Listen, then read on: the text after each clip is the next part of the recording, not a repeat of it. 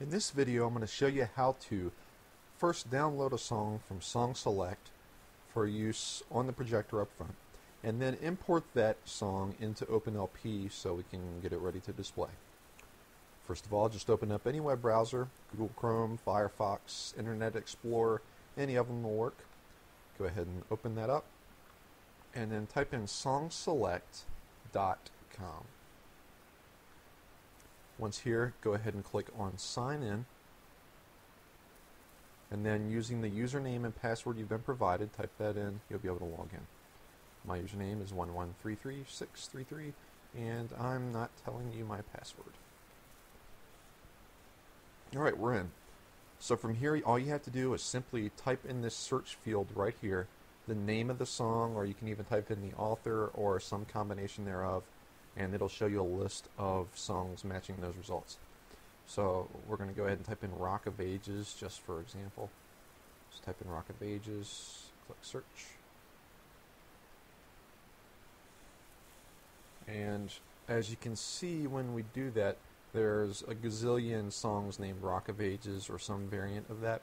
Now typically Carolyn will either provide a CCLI number for that song or she'll provide the author name or something to that effect so you can narrow this down and be sure you're downloading the right one.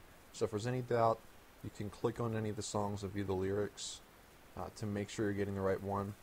I'm going to assume that this public domain was the right one because I know Rock of Ages is an old song and just for speed's sake. So all you do, once you have the right song, just under the lyrics column, click the icon View Lyrics.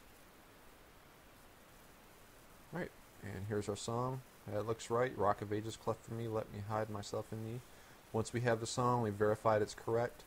Highlight download and click USR file.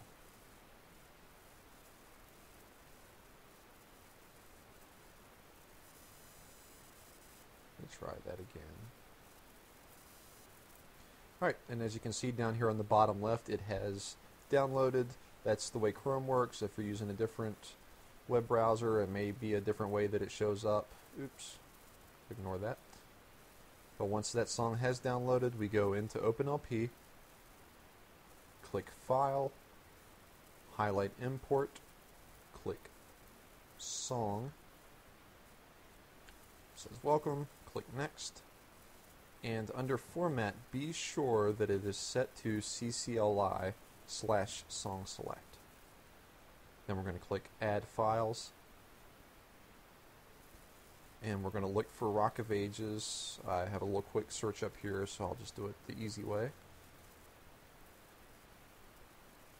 And once we have that, we click it, click Open. And that's going to import, get it to our import list here. Now, when I was back on this Add Files window, if I had numerous songs available, I'll pull up so you can see what I'm talking about. Say I wanted to download Rock of Ages. How can I keep from singing in the heart of worship? All I would need to do is click one of them, then hold down Control, the Control key on your keyboard, and then left click the rest of the songs you want. So then I can click, if I were to click open on all of those, it would then send into this import screen all three songs at once rather than having to do all this for each song. But I only want Rock of Ages for now, so I'm going to click Cancel. I have the song here. I'm going to click Next. As you can see, it takes just a fraction of a second to import. It's done. I'll click Finish.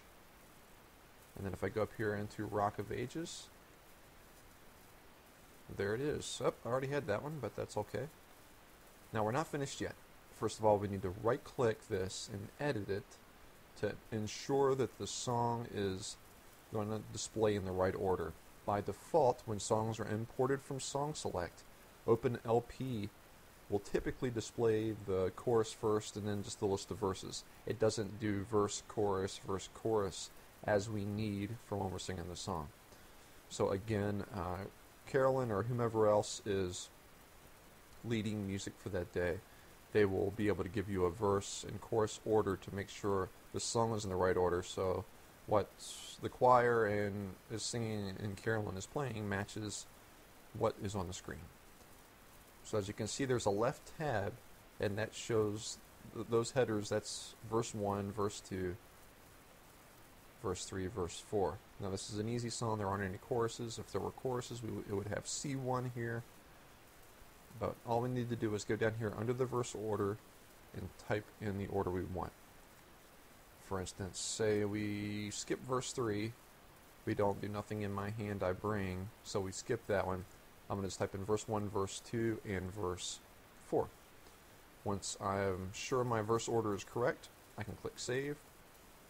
But something else that frequently comes up, uh, for whatever reason, we've traditionally sang a song with slightly different lyrics that are than are what are on CCLI's website. If that's the case, we just double click on the one that we need to change. Let's say instead of uh, let me hide myself in thee, it says let for instance, if we were to sing "Let me hide myself in you," all you do is just double click on the one you need to change. Go in there and highlight what needs to be changed. Let me hide myself in you. Click save. Click save again, and then if we go and double click and view this song again, Rock of Ages, Cleft for Me, Let Me Hide Myself in You. There it is. All done, all set up in the correct order. As you can see, it skipped verse 3, so we're good to go. That's all for now. And as always, thank you so much for serving in this ministry and growing in this ministry. God bless.